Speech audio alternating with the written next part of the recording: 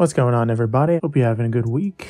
So, it's been some time, and I've been watching a lot of ROG Ally reviews and reading a ton of articles about it. And I couldn't be more excited to talk about it since this seems like a very complicated situation given the controversy last week with Asus. But regardless of all of that, this device has a ton of potential. And there are still some mixed reviews, and just looking at the comment section, there seems to be a big focus on the recent Asus controversy. And of course, the internet is just focused on the mishaps of a company. And I'm not saying people are blindly hating on Asus. This distrust is justified. But even before last week's warranty and quality control problems with the company, I've had my fair share of misgivings from Asus. And it's been difficult to recommend this company and its products in full confidence as of the last three to four years. So why recommend the Asus ROG Ally now? You might be asking yourself, well, I don't recommend the product mainly because I haven't gotten my hands on it yet. But that's pretty much the only reason why I don't recommend it. And after watching and reading so many articles and reviews of the Ally and looking at both the ROG Ally and the Steam Deck, as much as someone could while only owning one, during the Steam Deck's first few months, I had some doubts in the software and it wasn't a perfect experience. Even before the Steam Deck's release, Valve as a manufacturer didn't impress me much. I never owned their Index VR headset and wasn't a fan of the Steam controller, machine, or Link. So to recommend the Steam Deck before it released wouldn't make any sense given my history with Valve's past products. So now we have the Asus ROG Ally, and looking back at the history I have with Asus about three to four years ago, Asus was my all-time favorite hardware and software manufacturer and developer. I trusted that company with all of my gaming business. I built numerous computers with their motherboards and loved their top-of-the-line gaming laptops. As of the last three to four years, they haven't impressed me much, but I feel the transition to thinner, more portable laptops hurt the company, and that focus on the laptops and even phones made the company's quality and motherboards especially dwindle, to say the least. Right now, I wouldn't recommend Asus's motherboards for obvious reasons, but I would still recommend their laptops and possibly their phones. That leads me to the actual point. Asus is a juggernaut in the gaming PC space. Just a year ago, I wouldn't be able to say the same about Valve, but here we are in a world where Valve had created a reliable and impressive handheld gaming PC, and some would actually say the Steam Deck seems more reliable than the Asus ROG Ally before the Ally is even officially released. That's the kind of confidence Valve has enabled from their loyal and amazing community. The way I see it, with the Steam Deck's initial promises and previews, everyone was excited to finally have a mainstream Linux-based handheld PC. So they took that excitement and put their faith in Valve. And Valve returned that faith in droves and met all expectations and then some. And the only thing I ask myself is, how could a company like Valve actually pull that off?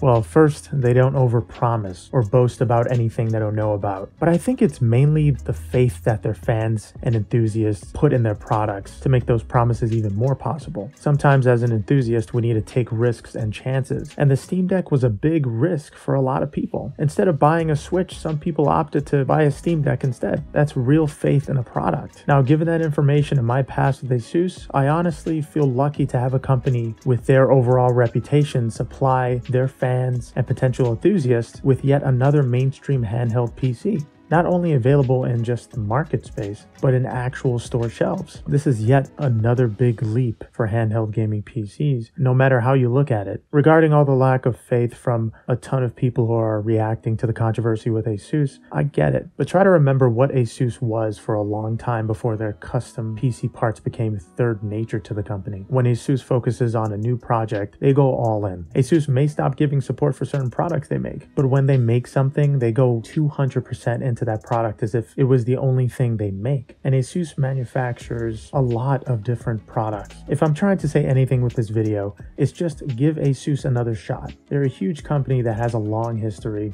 both good and bad, but mostly good. I think comparing their manufacturing history to Valve makes Valve look like a shrimp, but here they are impressing us with the Steam Deck. It's easy to see how well built the Ally is, even only with previews and reviews available. The Ally genuinely looks like a promising handheld PC. Yes, Windows shouldn't be on a mobile device, like some people say, but it has to start somewhere. And I hear having Windows on the Ally is far more accessible than how it is to have Windows on a device like the One X Player and Aya Neo. So that's a good start. We just have to face the fact that almost everything on Earth runs on Windows. It's the interface we don't want. But we unfortunately need most of the time. It sounds really one sided, but the sooner we just accept it, maybe Windows could actually change for the better someday and optimize its OS to work better with mobile devices. It is, after all, run by people like you and me, as well as ASUS. A lot of what the internet presents is kind of ours to preserve or shred. I think we just need to preserve as much as possible and let Microsoft and ASUS show us what they can do with a handheld before jumping to conclusions. I'm not saying the ASUS ROG Ally will be better than the Steam Deck in terms of user ease or even optimization. I'm saying if there's a chance, we should reserve and preserve the good we see in ASUS's products and Windows because Windows itself makes a lot possible, even though it can be annoying. I think focusing on the bad kind of makes everyone seem like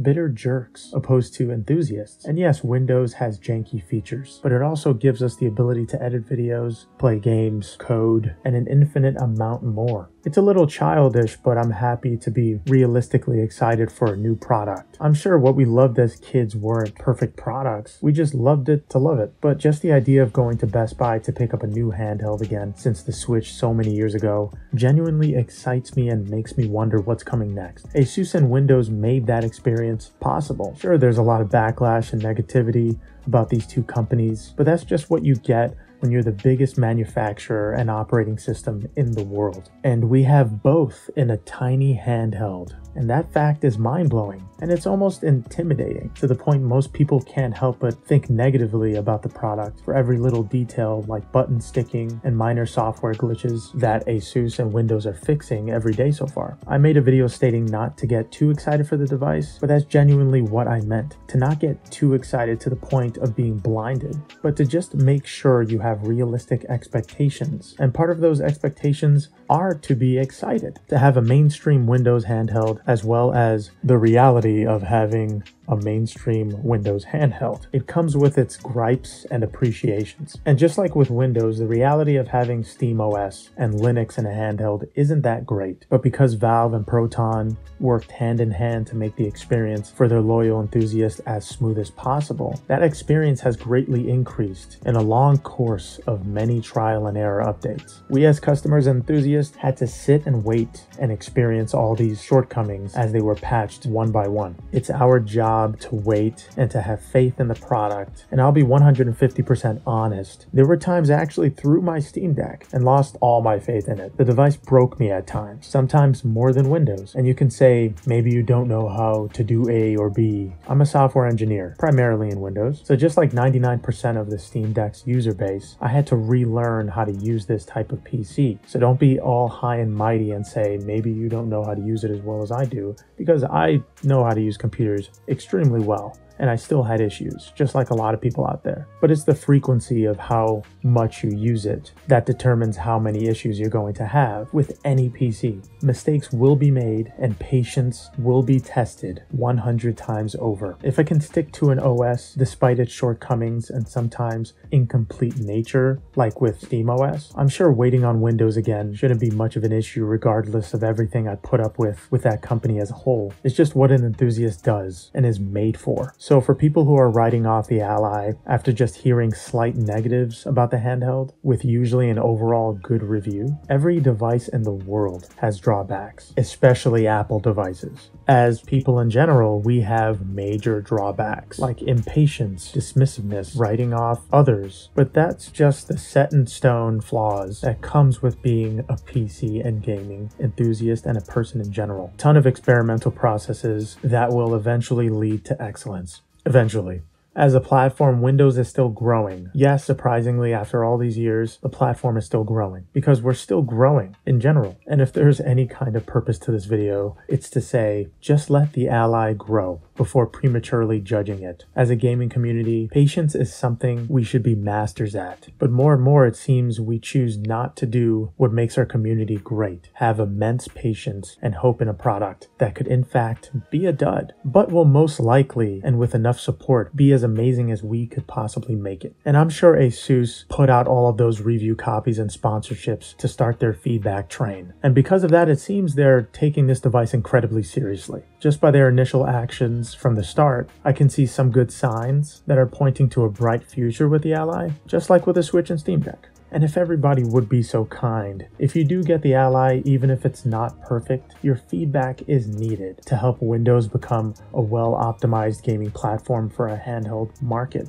That's something that the community worked with and worked together to make Linux, yes, Linux, an optimized gaming platform for a handheld market. I honestly thought that was impossible, but we did it and we already know Windows, so how is this impossible? Sure, we could just jump ship and go straight to Linux, but Windows is important too. Hopefully, with enough feedback and collaboration, ASUS and Windows can make the Ally a good base for Windows to grow as an accessible gaming platform on a handheld device. The Steam Deck showed Windows that PC gamers sometimes like a UI to be simple and to the point. point, and there's already talk about a mobile version of Windows. We don't always need all the bells and whistles to start a game. Sometimes having those complex features in the background is a good thing, and the Steam Deck showed us exactly that. So yeah, I'm excited for the Asus ROG Ally, but I am also fully expecting a train wreck in terms of software engineering, just like the Steam Deck. But judging by some reviews, the Ally seems a lot easier to dock and play day negative 30 opposed to the Steam Deck day 1. Docking the Steam Deck was one of the most difficult things I've ever done with any PC, and it seems like with ROG Ally, it's easy. To me, that seems like an incredible start. Sure, it can be intimidating that Steam Deck has actual good competition that's coming in just under 30 days, but the two devices are also very different from each other, which is also a great thing. That potentially means I will most likely keep and use both platforms for what each is good at. There's not only room for improvement, but room for two main handheld PCs in the market, just like there's room for three mainstream consoles. But it's only a matter of time, and time will tell if the Ally is actually what all these reviews say it is. I'm fully prepared to use the Steam Deck for slightly longer and easier sessions, and the Ally for its turbo mode for the games that can't run on Steam Deck and its 1080p 120Hz screen to be 1000% immersed.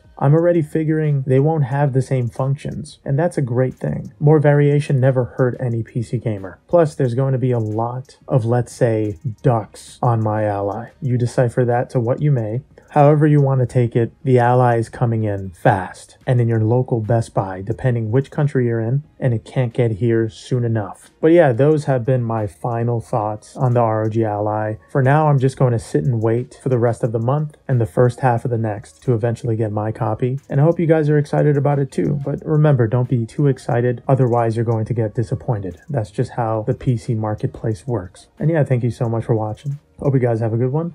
Later.